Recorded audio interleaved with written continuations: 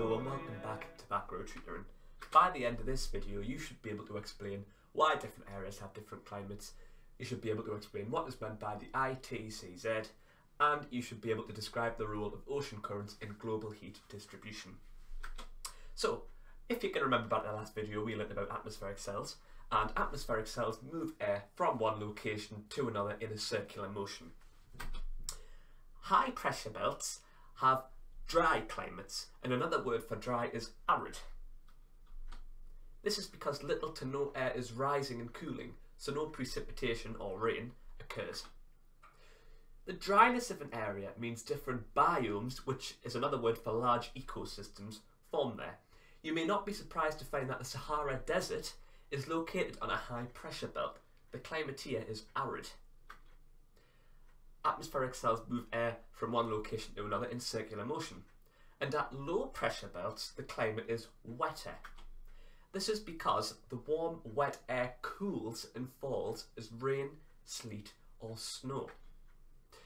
Looking back at the map of Africa here, you can see that the wetness of an area means different biomes form again. You may not be surprised to find that the green areas are located on a low pressure belt. The climate here is wet.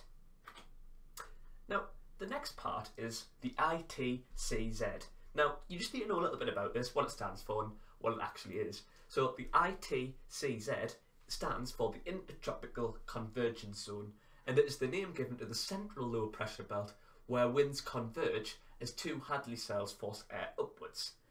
Now, when you've got this two Hadley cells forcing air upwards because of the heat, you get precipitation and you get a lot of rain. And this causes a wet band to form, and that is actually around the equator, around the ITCZ.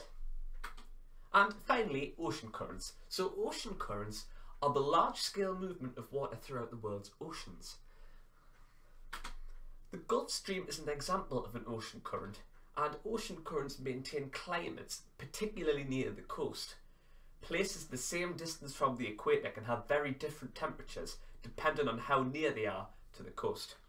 And we call this continentality, which is a measure of how close you are to the sea because of how large the landmass is. Now, at the end of that, you should be able to explain why different areas have different climates.